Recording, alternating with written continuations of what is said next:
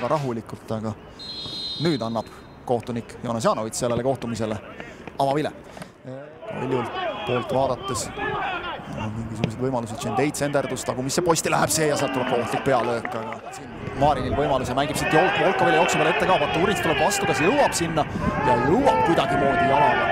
kastist oli väljas, käega mängida ei saanud. Järvelaid keskele ja sealt tuleb löök aga see läheb napilt mööda. Subbotin palli taga, ma usun, et ta läheb sealt jõuga lööma. nii on ka värava peale ja Baturins pole siin esimene mäng, siin mängisid esiliigat täna Nõmme United ja Flora Duubel näiteks. siit nüüd värava ette pall ohtlikult ja sealt läheb.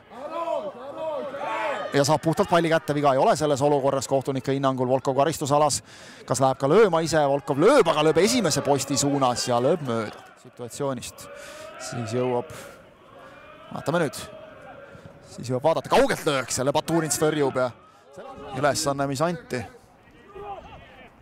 Süvelekidis teeb nüüd pika soolo siit, lükkab veel edasi sealt hästi ja nüüd Maarin saab lüüa, aga Baturinsilt hea tõrje. Paur, kõik tegelikult, nii et selles mõttes võiks nagu väga halvasti minna ka siin täna. Nende keeldudega Komissarovilt pall värava alla ja seal on nüüd olemas. seal on nüüd Nõmme Kalju esimene olemas viiekümne seitsmendal minutil.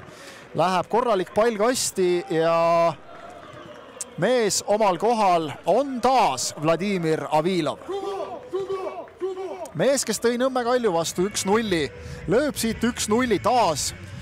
standardolukord, väärt ja hästi tuleb, seal on nüüd Avilov ettevõtmise võimalus. kasti tagant löök ka, aga selle Berk aitab ja mehed nagu lõpetavadki ära. ajaga teenitud nüüd Järvelaiule ei tule pall ja Järvelaid saab selle ikkagi kätte ja lööb ja lööb mööda selle koha pealt.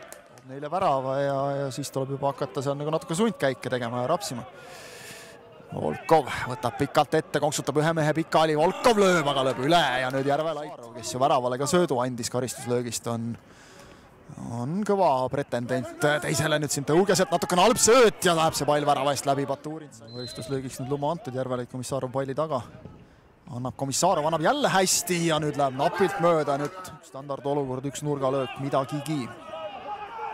Seni pole midagi olnud nagu värava ette ja seal on see võimalus. ei lasta, ei lasta tulema sealt, hästi Kalju pressib praegu ka, toob surve palli peale, pannakse pikk pall veel ette, kas siit on mingisugune võimalus veel tekkimas? jääb pall ette Tõugesele, Tõuges lükkab keskele, sealt tuleb löök ja oi kui napilt läheb see postist mööda, siin jättis küll vist kõigil, kõigil Kalju fännidel ja kogu pingil süda löögi vahele, aga nüüd on kõik. Markus Vaherna hoiab kahe käega peast kinni